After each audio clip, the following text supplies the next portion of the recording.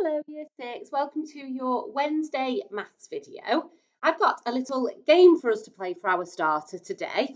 Um, some of your work today will involve decimals, so I just wanted to quickly go over comparing decimals. So thinking about which ones are bigger, um, because sometimes it can be a little bit tricky because um, place value of decimal numbers can be quite challenging sometimes. So I've sent the link out with your video link today, so just click on there and it will come up like this. Oh, one second. It'll come up like this screen. Okay, so you press the arrow at the bottom and then it should already have selected the decimal point because we use a decimal point in decimals, don't we? Not a comma.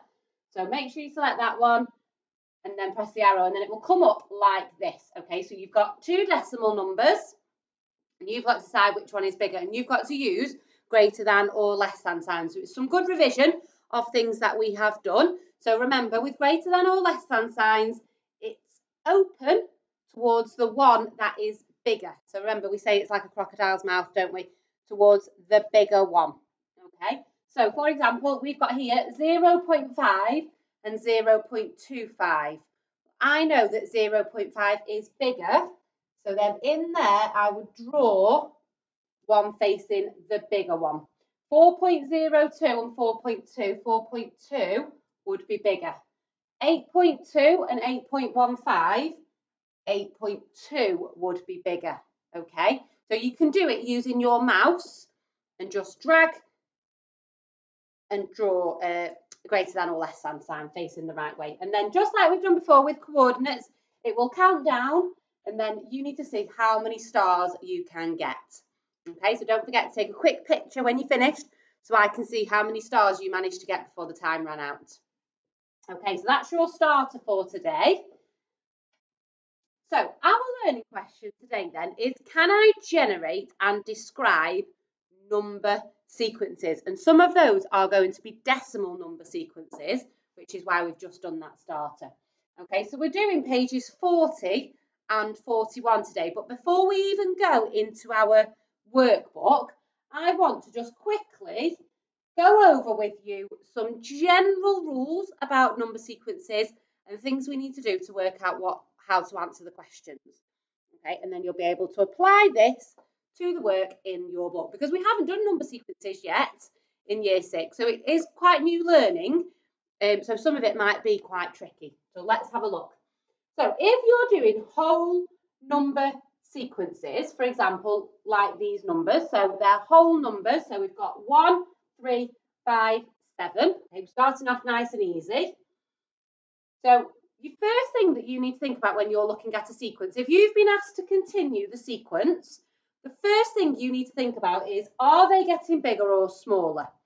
Okay, and that's that applies to the work that you're doing today. So if it's decimal numbers, if it's fractions, are they getting bigger or are they getting smaller? Because then that will determine what you need to do to work out the next term. Is the gap between each number the same? Now, this is quite key, okay? Because sometimes it doesn't always follow the exact same pattern for every single term, okay? So, for example, it might be add 2, then add 3, add 2, then add 3, add 2, then add 3. So you've got to be really, really careful when you check your sequence that it is going up in the same amount every time. So, for example, 1 to 3, we add 2, Three to five, we add two. Five to seven, we add two. So it is the same every time. Okay? And then how big is the gap? So then you've got to work out what it's going up in or down in to work out what your next term would be. Okay? So, finding the term by term rule, because you're not always going to be asked what the next term is. Sometimes you're given a full sequence and you've got to work out the rule. So to work out the rule then, each number in a sequence, first of all, is called a term. So you might have heard me say, work out the next term. Okay, so that's the, so it's not always a number. Sometimes it's a fraction. Sometimes it's something else. So it's a term. Okay. So what you need to add or subtract from a term in a sequence to make the next term is called the rule. So for example, in the one we've just looked at, it was going up in twos. So the rule for that sequence would be add 2. Okay? For example, add 2. Yeah, like for the one before. Okay. Sometimes, though, they might go beyond zero into negative numbers. Okay, so for example, let's have a look at this one. So we've got 8, 5, 2, and then we need to work out the next three terms. Okay, and it says here, remember to think about the rule. Okay, so remember, first thing to do is work out whether it's going up or down. So 8 to 5, we're going down, aren't we, because 5 is less than 8. Um, is the gap between each one the same? So the difference between 8 and 5 is 3. The difference between 5 and 2 is 3. So yeah, we're going down in threes, aren't we? Okay, so now you'd have to do 2 minus 3. And then you'd do the same and keep going. Okay, so you can only work out this one if you've worked out this one first. Okay? So, decimals then. Your first question in your books today on page 40 is on decimal numbers. So, you have been given the first four terms, or you've been given the sequence. So, the four terms is your full sequence, and then you've got to work out what the rule is. Okay, so you're not working out the next term, you're working out the rule. We'll have a look at the one in your book in a minute. Okay, let's have a look at these ones. So, we've got 3, 3.5, 4, 4.5, 5, 5.5. Okay, straight away I can tell that that's going up in 0.5s. Okay, so the next one would be 6, wouldn't it, after 5.5, and then it'd be 6.5, then it'd be 7, and it'd keep going like that because it's adding 0.5 each time. So work out term to term rule for each of these sequences. So for this one, it would be add 0.5, okay, because we are going up. Have a look at your next one. So we've got 7, 6.8, 6.6, 6.4, 6.2, 6. Okay, so we're going down, aren't we? So we've gone from 7 to 6.8, so we're definitely going down. So it's going to be subtract something. Think about what the difference is between 7 and 6.8. What the difference is between 6.8 and 6.6. I can see that it's the same amount each time and it's going down by 0.2. Okay, so your rule for that one would be subtract 0.2. Okay, let's have a look at another one. So for this one then, we've got 4, 2.5, 1, 0. Point, sorry, minus 0.5, minus 2, minus 3.5. Okay, so for this one then, if you just did 4 take away 2.5, that will tell you what is left. Okay, so I know 4 take away 2 is 2. Take away the 0.5 would be 1.5, wouldn't it? And then you're going to have to double check that 2.5 take away 1.5 is this term. Okay, if it's not, then it might not be the same every time. Okay, I think that is enough on those. Let's have a look at the work in your book. So, question one says, write the rule to get from one term to the next for each sequence. So remember, you're writing the rule, not the next term, the rule. So here then, we've got 5, 10.5, 16, 21.5. So for this one then, we are going up, aren't we? So it's going to be add something. And if you do 10.5 take away 5, that will tell you, oh, sorry, can you see my decimal there? That will tell you what it's going up in. Okay, and then in here, you would write add something. Okay, your next one then is 9, 8.75, 8.5, 8.25. So we're going down. So it's going to be straight away we know it's going to be subtract something. Okay. And if you do 9 take away 8.75, that will tell you the difference. Okay, and then just double check it works before you write it in here and the first one, just double check it works. So try it for the last two terms. Okay, so whatever you've said subtract, take it away from 8.5, do, do you get 8.25? If you do, then you're going to be correct. Okay, remember, just always, always double check your answer before you move on. Okay, so that's question one. Question two then is moving on to using some fractions. Okay, but we're all quite confident with adding and subtracting fractions, so I think you will all be fine with these. So it says write the next two terms in each of these sequences. Okay, so you've got two thirds, you've got one and one third, two, and two and two thirds. The first thing I'm going to do is get rid of these mixed numbers and change them so that they are improper fractions because then I'll be able to see my, my sequence much, much clearer. So it's one and one third. We need to do three times one, add the one, don't we? So three times one is three, add the 1 is 4. So that's our numerator. And remember, our denominator doesn't change. So that is the same as 4 thirds. Okay. Then we've got 2. Okay, so if we're doing thirds, how many? So remember, we're doing thirds, so the denominator is going to be, so if you do 3 times 2, that's 6. So 2 is the same as 6 thirds. Okay, and let's change this one then. 3 times 2 is 6. Add the 2 is 8. That's your numerator. Your denominator would be 3 again. Okay, so now we've got 2 thirds, 4 thirds, 6 thirds, 8 thirds. It's a little bit clearer now, isn't it? Okay, so what are we going up in? We're going up in 2 thirds, aren't we? We're just adding 2 each time to our denominator, uh, sorry, our numerator. Okay, now for this one, You've got to work out the next two terms. Okay, but I'd like you to put your answer in a mixed number. So the next one is going to be, so we've got six thirds, eight thirds, eight thirds add two thirds is going to be 10 thirds. But I'd like you to change that into a mixed number. So remember, figure out how many times 3 goes into 10. That would be your whole number. How many have you got left over? Put that as your numerator. And 3 is going to be your denominator and then add on two thirds again. That one would be 12 thirds, but remember, change it to a mixed number for me. Okay?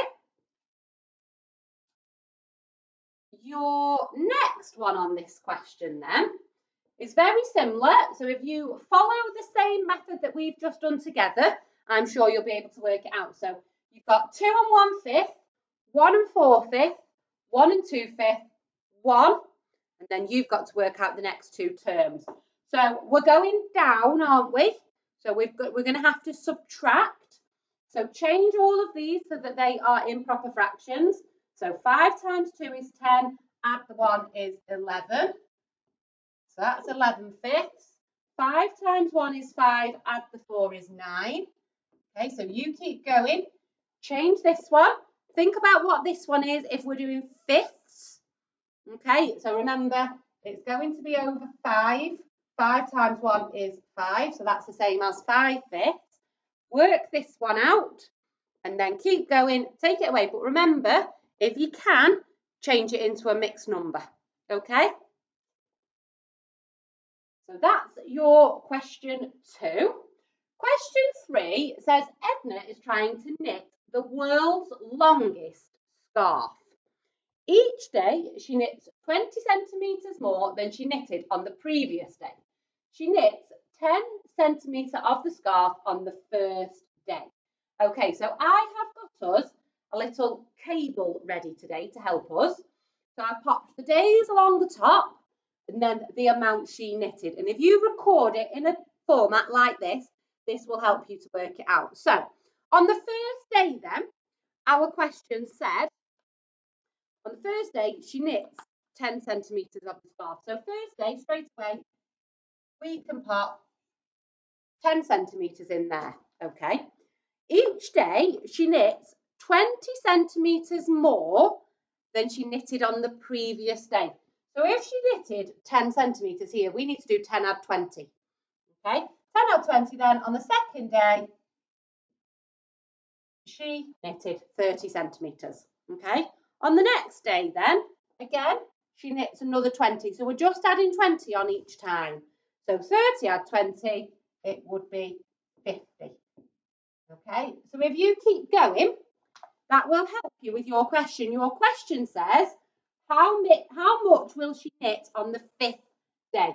So keep going. Whatever you've got here, that's your answer. Okay? This one then says, how long will the scarf be in total after a week?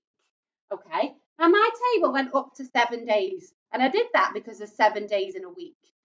Okay, so if you fill in all of these to work this one out, all you've got to do is add up all of those measurements. Okay, and that will give you the answer to the second part of question three. Okay, question four then on page 41 says the rule to get the next term in the sequence is add the previous two terms together. The fifth term is 11 and the sixth term is 18, okay? Now you're being asked to find the first term and the second term. So again, I've popped it in a table. Okay, so we already know that the fifth term and the sixth term are 18, uh, sorry, are 11 and 18. Okay, so to work out this fourth term, we're going to have to work backwards. We want these two for our question, but before we can get these two, we're going to have to get three and four as well. So to work out the fourth term then, if we do 18 take away 11, that will give us the fourth term. Okay, 18 take away 11 is 7. So that's the fourth term, okay? You do 11, take away 7, that will give you the third term, okay? If you then do 7, take away that one, that will give you the second term, and you can write it in there. Once you've got that one then, if you do the third term, take away the second term, that will give you the first term, okay? So just keep going like I have. Do 11, take away 7, pop it in there. Do seven, take away that one, it will give you that one. Then do third, take away second, and that will give you the first. Okay. Question five then says the sequence below is created by two rules. Okay. So it says to get an even numbered term, add six to the previous number. To get an odd numbered term, subtract four from the previous number. Okay, so this is one of those sequences where it's not the same every time. Okay, so you've got two different rules going on. So the first, this one says find the next three terms in the sequence. So you've been given 7, 13, 9 and 15. Okay, so this then is an odd number, isn't it? 15 is odd. It's not in the two times table, it's odd. So remember, Back, in our, back at the beginning of our question, it says to get an odd numbered term, subtract 4. So to work this one out, you need to do 15 take away 4. Okay. Then the next one said to get an even numbered term, add 6. So whatever you've written in here, you need to add 6 to it. Okay. Then this one, you would need to subtract 4 again, okay? Because remember, this is the first term, this is the second, this is the third, this is the fourth, fifth, sixth, seventh. Yeah? So this is odd because it's 5. This is even because it's the sixth term. This is 7 because it's the seventh. Sorry, this is odd because it's the seventh term. Okay?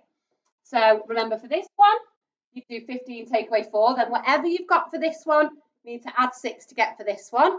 And then whatever you've got for this one, you'd have to subtract 4 for your last one. Okay. The next part of this question then says the rule from getting from one odd numbered term to the next is add 2. Explain how you can work this out from the two rules above. Okay, so you just need to write something here like, oh, mixture of red and red and black. So to get from one term to the next,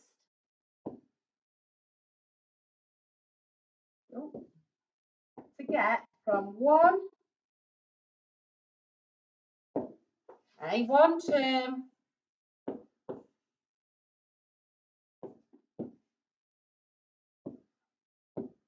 Okay, so to get from one term to the next, let's have a look what we've got to do. Okay, without having to write it out in really long words, we add 6, don't we? So for, to get from 9 to 15, we add 6. And then to get from 15 to this one, we subtract 4. So that's all we've got to write, really. Add 6, then subtract 4. So to get from one term to the next, um, you need to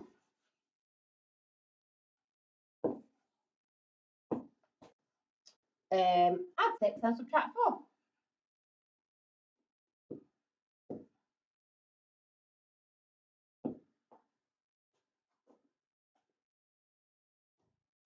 second. Then, then subtract 4 and then you can just do a little calculation to show that it matches the answer. 6 take away 4 equals 2 because remember the question said um, the rule for getting from one odd number term to the next is add 2. So that's why it's 2. Okay, because you're adding 6, take away, take, adding 6 and taking 4 away so really, it's going up in twos. Okay? Um, then you've got your challenge question. So your challenge question says, a charity has a new fundraising campaign. It says each day they are going to try to raise twice as much as they raised the day before. On the first day, they raised a pound. So on the second day, they'll need to raise one pound times two, so two pound. And on the third day, they'll need to raise four pound because two pound times two is four. How much money will the charity need to raise on the fifth day? So for this one then, I'd do this one like we did some of ours today and draw yourself a table. So pop, pop the first day in, pop the second day, keep going, and then you'll be able to work out how much they raised on the fifth day. If the charity meets its targets every day, what will be the total amount raised in the first two weeks? Now, can you come up with a rule that you can apply to this so that you don't have to do a table for 14 days? Okay, because it's 14 days in two weeks. That would take you quite a long time. But can you come up with a rule? Okay, how many days will it be before they've raised a total of 1 million? So once you've worked out your rule for the two week question, you can apply that to the a million question. Then it says, do you think this is a sensible fundraising campaign? What do you think? Do you think it's achievable? Have a think for that one. Okay, so that's all of your maths work for today. Good luck with all of that. I'm sure you'll be absolutely fine. Just remember to take your time, pause the video when you need to, replay bits if you need to, and then you'll be able to have a good go. Okay, don't forget to send me a photo on the email. Don't forget to include a photo of your starter for today as well. And I will see you all tomorrow.